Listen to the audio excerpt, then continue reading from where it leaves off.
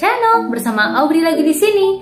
Apa kabarnya? Semoga kalian sehat-sehat semua ya. Di vlog aku kali ini aku mau coba review nih guys buku yang baru-baru ini aku baca. Judulnya adalah The Seven Habits of Highly Effective People karangan dari Stephen Richard Covey. Sebenarnya buku ini pertama kali dipublikasikan itu sekitar tahun 1989 Waktu aja aku belum lahir guys. Tapi karena buku self improvement ini mendapat banyak respon positif dari para pembacanya, sampai-sampai eksistensi dari buku karya Stephen Richard Covey ini masih terus dibahas dan menjadi topik dari berbagai seminar dan juga talk show. Termasuk pada saat pra MPKMB kemarin, aku dan teman-temanku Gatamala Agrinawa alias Angkatan 59 di IPB University juga diwajibkan untuk mengikuti webinar terkait dengan Seven Habits ini. Nah, setelah ikut webinar itu, aku jadi tertarik nih guys buat kepoin bukunya langsung. Dan di kesempatan kali ini, aku mau share nih guys ringkasan dari buku ini. Terutama untuk teman-teman nih yang tertarik dengan Seven Habits, tapi tidak punya waktu untuk membaca bukunya. Yuk tonton video ini sampai habis, dan jangan lupa subscribe ya guys! Seperti yang kita tahu, manusia hidup dengan pola dan kebiasaan yang dilakukan sehari-hari. Kebiasaan ini juga yang akan mempengaruhi hasil dari apa yang menjadi goal mereka. Sehingga jika kita ingin merubah hidup dan meraih apa yang kita dambakan, hal pertama yang harus kita lakukan yaitu merubah kebiasaan kita dulu. Seperti apa yang ingin disampaikan oleh Stephen Richard Covey, bahwa hidup kita tergantung dari bagaimana cara kita melihat dunia. Nah, apa saja sih tujuh kebiasaan atau habits yang memberikan pengaruh besar bagi kehidupan jika kita terapkan dengan baik? Yuk kita bahas satu-satu.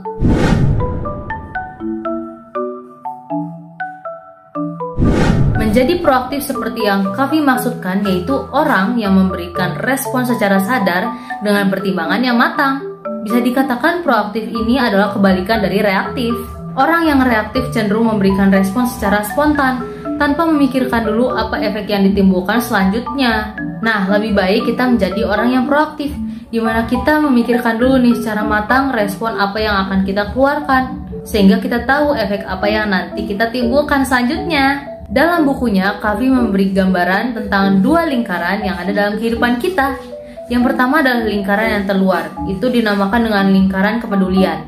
Isinya adalah hal-hal yang di luar apa yang dapat kita kendalikan, Contohnya seperti cuaca, kemacetan, dan lain sebagainya.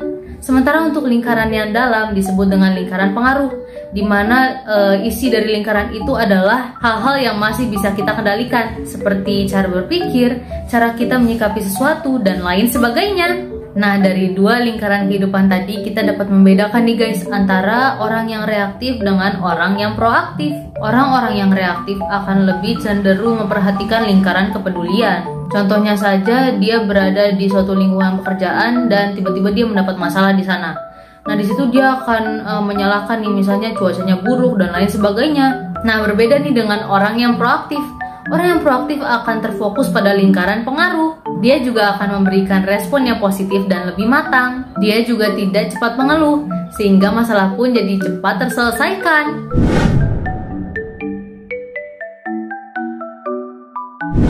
Mulai dari akhir yang dimaksudkan adalah pikiran kita. Kavi meminta kita untuk memiliki pandangan yang jelas atas tujuan kita. Sehingga jika ke depannya nanti kita dihadapkan oleh berbagai rintangan dan cobaan, kita tidak lagi ragu untuk mengambil keputusan.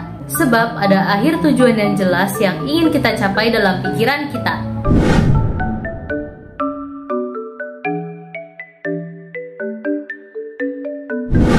Kemampuan untuk memilah mana hal yang penting dan mana yang tidak merupakan suatu kebiasaan yang juga dapat menunjang kita dalam meraih kesuksesan. Dengan mampu memilah kepentingan sesuai kebutuhan, kita jadi tahu nih guys mana yang harus dikerjakan lebih dahulu dan mana yang tidak. Kebiasaan yang satu ini erat hubungannya dengan manajemen waktu. Kavi menyarankan kita untuk mendahulukan yang utama sesuai dengan empat kuadran yang dibuatnya. Kuadran pertama adalah hal yang penting dan mendesak. Kuadran kedua adalah hal yang penting dan tidak mendesak. Kuadran ketiga berisi hal yang tidak penting namun mendesak.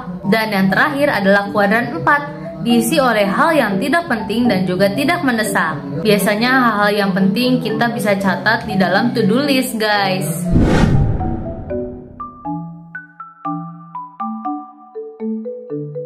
Jika kita ingin menjadi orang yang efektif, kita harus membiasakan diri nih guys untuk berpikir menang-menang. Artinya kita harus bisa mencari solusi dari suatu masalah yang dapat membuat seluruh pihaknya itu merasa diuntungkan. Dengan kita berpikir menang-menang, kita juga dapat mempererat hubungan kita dengan sesama. Melalui think win-win inilah kita dapat membangun reputasi dan image yang baik. Dapat dipahami oleh orang lain, pertama yang harus kita lakukan yaitu memahami orang lain terlebih dahulu. Orang yang efektif adalah mereka yang memiliki empati yang besar pada sesamanya. Sedangkan untuk dapat memahami orang lain, kita juga harus belajar nih guys untuk mendengarkan orang tersebut. Ya, pekerjaan akan jauh terasa lebih mudah dan efektif bila kita dan sesama kita dapat saling mengerti dan memahami.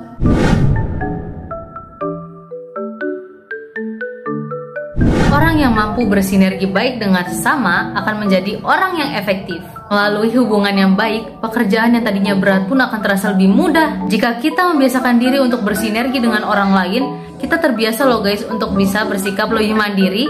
Selain itu, kita juga dapat terbiasa bekerja sama dengan orang lain dan berkolaborasi dengan sesama kita. Orang yang efektif akan terus-menerus mengasah hal yang dia punya dalam kehidupan dia sehingga menjadi orang lebih baik ke depannya. Kavi menyebutkan sekiranya ada empat hal utama yang harus kita asah dalam kehidupan, yaitu fisik, mental, sosial, dan spiritual. Empat hal utama ini tentunya sangat berpengaruh besar bagi kelangsungan hidup yang efektif. Oke guys, sampai di sini dulu ya vlog kita hari ini. Semoga bermanfaat dan menginspirasi kita semua. Ayo di like, komen, dan share ke teman-teman kalian semua. Dan jangan lupa subscribe ya guys, karena subscribe itu gratis. Oke, okay, bye-bye. See you, God bless you. Dadah!